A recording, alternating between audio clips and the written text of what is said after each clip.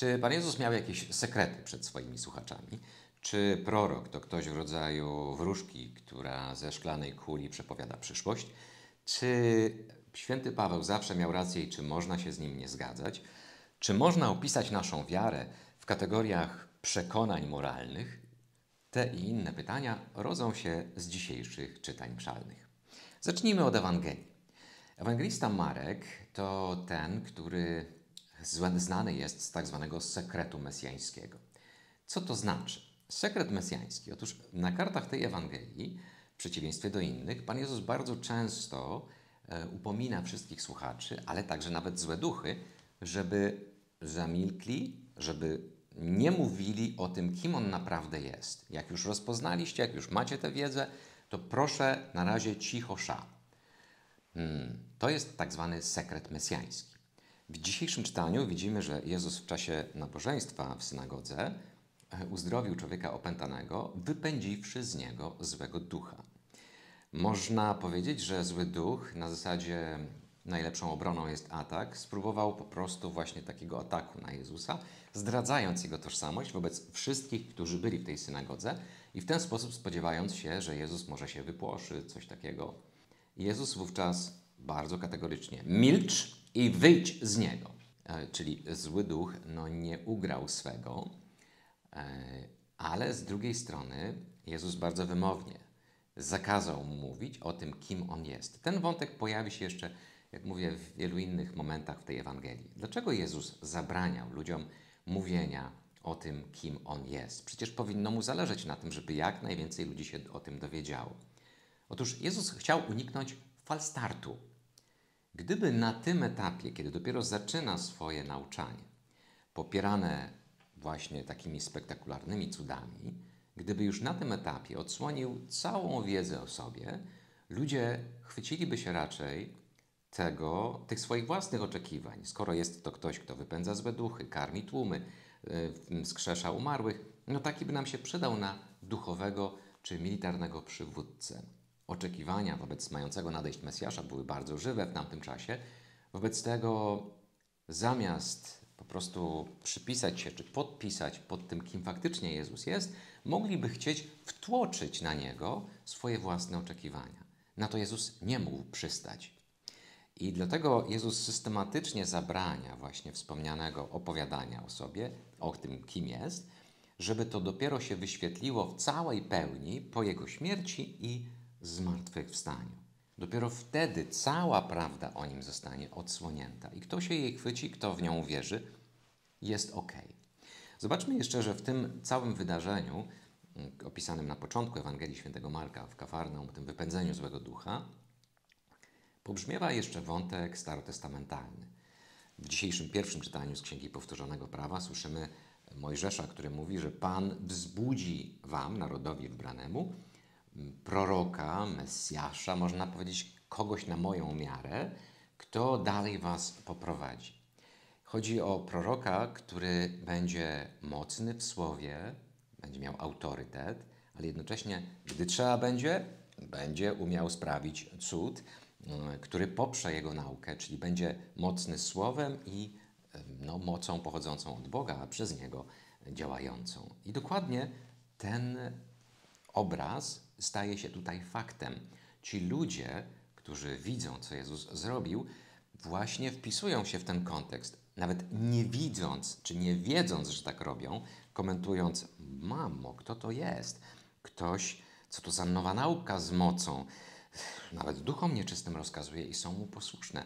Oni dokładnie intuicyjnie czują, że tamta zapowiedź się tutaj spełnia. Jeszcze nie mają tej wiedzy, ale przynajmniej słuchacz, czytelnik już widzi w ich reakcji to, co Mojżesz zapowiedział o tym mającym nadejść proroku.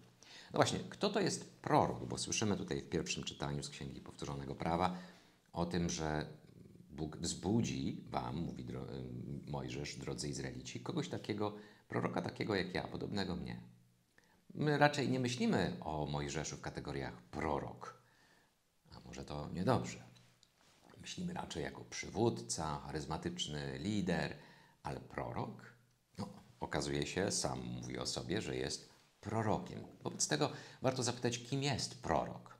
Prorok to ktoś, nie, kto nie tyle opowiada o przyszłości, czy przepowiada przyszłość, tylko ktoś, kto mówi o teraźniejszości i pokazuje, jak teraźniejszość, nasze czyny, wybory i tak dalej, jak one mogą projektować na przyszłość. Widzi dalej, poza widnokrąg, ale jego zadaniem nie jest przepowiadanie przyszłości, tylko mówienie, jeśli mówi o przyszłości, to tylko w kategoriach tego, co dzisiaj.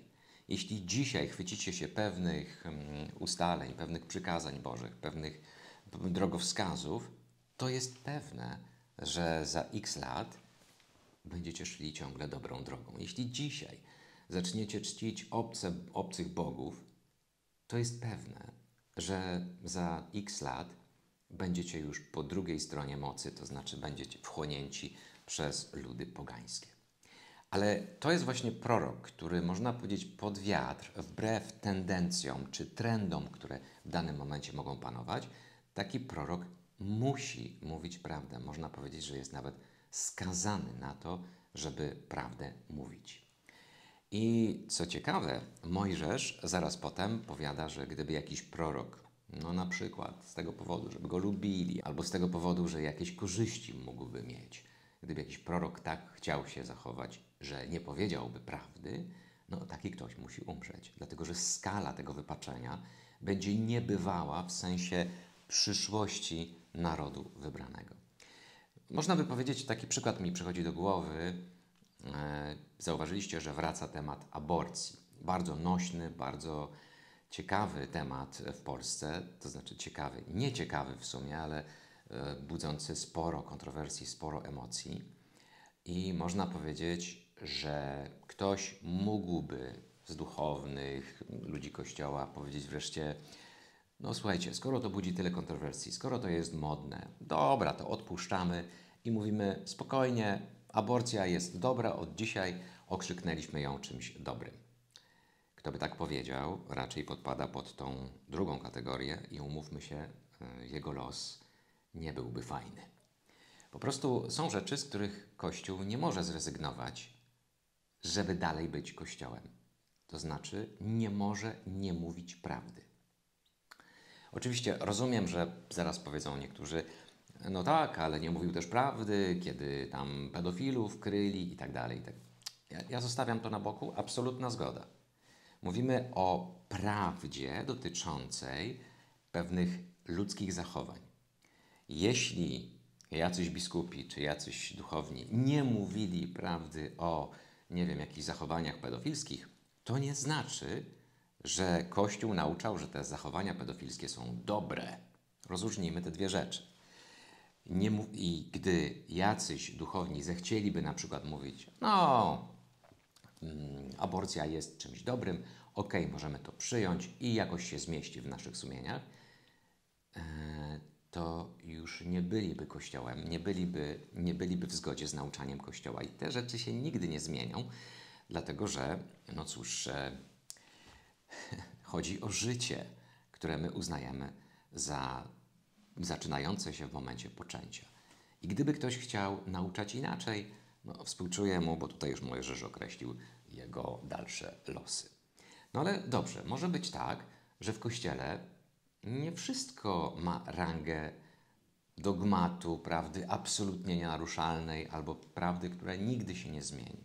Przykład, święty Paweł w dzisiejszym drugim liście mówi, że hmm, dotyka kwestii celibatu i kwestii małżeństwa. I mówi, że co do mnie, to wolałbym, żeby wszyscy byli tacy jak ja, to znaczy bezżenni. Czas jest krótki, niedługo Pan przyjdzie, wobec tego kto wychodzi za mąż, kto się żeni, no cóż, ma dużo trosk, będzie cierpiał. A ja chciałbym Wam tego oszczędzić. Chciałbym, żebyście spojrzeli raczej przed siebie, skoncentrowali się na relacji z Bogiem, a nie na relacji małżeńskiej. No, proszę Państwa, to brzmi, jakbyśmy zaczęli deprecjonować małżeństwo, o którym tak wiele w Kościele się słyszy, że to dobra instytucja i tak dalej, i tak dalej. No, niektórzy, słuchając tych słów świętego Pawła, a mając już za sobą przykre doświadczenia małżeńskie, mogliby powiedzieć, no miał chłop rację. Ale inni, będąc w fantastycznych związkach, mówią, Paweł nie miał racji, Wobec tego się pomylił. Wobec tego, co to znaczy, że Pismo Święte kłamie? Nie, bo na początku tego rozdziału Paweł mówi bardzo wyraźnie. Co do dziewic, i pod tym pojęciem jakby ukrywa całe, całe, całą różnorodność wątków związanych z małżeństwem, co do dziewic, no nie mam tutaj jakiegoś specjalnego przykazania od Pana. Ale jako stary praktyk, człowiek, któremu warto wierzyć, mówię Wam, że lepiej będzie zrobić tak, tak i tak. Paweł bardzo wyraźnie mówi, że nie ma oficjalnego zarządzenia ze strony Boga, jakiegoś przykazania w tej kwestii. On tylko z własnego doświadczenia tak mówi. I mówi dokładnie, że jeżeli ktoś chce się ożenić, niech się przygotuje na cierpienia, ale nie robi nic złego, nie grzeszy.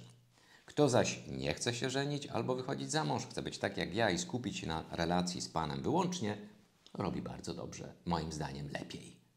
I tutaj można powiedzieć, że z Pawłem różnimy się pięknie. I nie ma tutaj żadnego dysonansu poznawczego. Jest możliwość dyskusji w kościele. Przykład.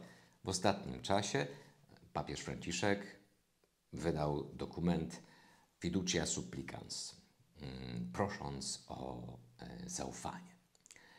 Mm, I tam, jak pewnie pamiętacie, jest taki wątek, że można błogosławić mm, związkom gejowskim i lesbijskim. To znaczy, bardzo jasno jest powiedziane, że nie chodzi tutaj o żadne podobieństwo do sakramentu małżeństwa, gdzieby po prostu taka para małżonków, małżonków mogła otrzymać błogosławieństwo albo zostać pobłogosławiona jako małżonkowie, tylko po prostu przychodzi dwóch, dwie takie osoby do księdza i mówią, my chcemy razem po prostu, żeby nas ksiądz pobłogosławił. I papież Franciszek mówi, można tak zrobić. A wiele episkopatów na świecie mówi, no, nie można. My w ogóle nie przyjmujemy tej nauki. W ogóle tego nie chcemy słuchać. Nie można. Czy wobec tego mamy tutaj do czynienia z jakimś rozłamem w Kościele? Nie.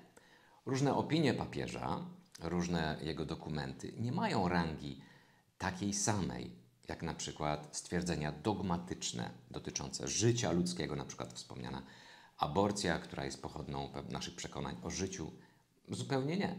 Papież dopuścił taką możliwość, a większość episkopatów póki co deklaruje nie, nie chcemy takich rozwiązań. Czy to jest już rozłam w Kościele? Nie. To jest historia stara jak świat. Zobaczcie, Paweł też dopuszcza, że ludzie mogą się z nim nie zgadzać w pewnych kwestiach dotyczących, jakby to powiedzieć, życia ludzkiego, nie moralności. Tutaj nie chodzi tak bardzo o moralność, chodzi o sygnały, które wysyłamy w świat, prawda? Błogosławienie takiej pary małżeńskiej, małżeńskiej, oni w własnym mniemaniu mogą chodzić za małżonków, y, geje i lesbijki, ale pobłogosławienie takiej pary mogłoby wysłać w świat zupełnie fatalny sygnał dla reszty wierzących. I z tego powodu wiele episkopatów mówi: Dziękujemy bardzo, my tego nie przyjmujemy u siebie. I możemy się różnić pięknie? Możemy. Najważniejsze jednak, żeby tylko wracając do punktu wyjścia, żeby pamiętać, że chrześcijaństwo nie może się zamknąć tylko w jakimś zespole przekonań.